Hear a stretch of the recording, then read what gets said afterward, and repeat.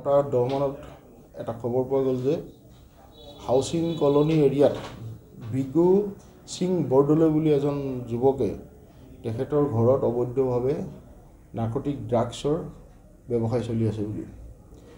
এইটো লগে লগে আমি ডি চি পি ছাৰৰ পাৰ্মিশ্যন লৈ তালৈ গ'লোঁ। যোৱাৰ পিছত তাৰ ঘৰ যেতিয়া চাৰ্চ কৰিলোঁ চাৰ্চ কৰোঁতে নাৰ্কটিক্সৰ একো নাপালোঁ কিন্তু এটা চুৰি মোবাইল আৰু এখন ছাছপেক্টেড মটৰচাইকেল তেওঁৰ ঘৰত পোৱা গ'ল। তেওঁক আনি যেতিয়া সোধ পোছ কৰা হ'ল তেতিয়া তেওঁৰ সহযোগী হীৰকজ্যোতি নাথক দিছপুৰ থানা এৰিয়াৰ পৰা আটক কৰা হয়।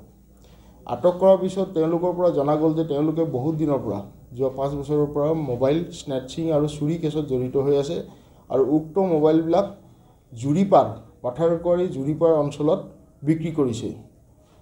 জুৰিপাৰত আমি যেতিয়া অভিযান চলাওঁ তেতিয়া তাৰ পৰা আমি দহটা মোবাইল ৰিকভাৰী কৰোঁ চুৰি মোবাইল আৰু আৰু কিছু মোবাইল আছিলে যিবিলাক মোবাইল অলৰেডি তেওঁলোকে বিভিন্ন ঠাইত বিক্ৰী কৰি দিছে।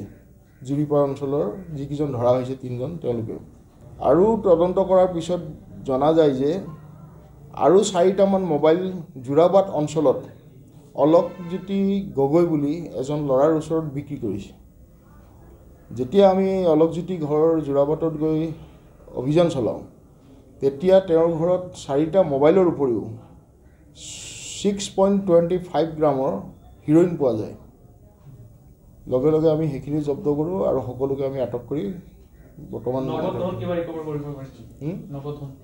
নগদ ধন পোৱা গৈছে আঠত্ৰিছ হাজাৰ বিছ টকা। এইটো অলকজ্যোতি নাথৰ ঘৰত পোৱা গৈছে ড্ৰাগছৰ লগত।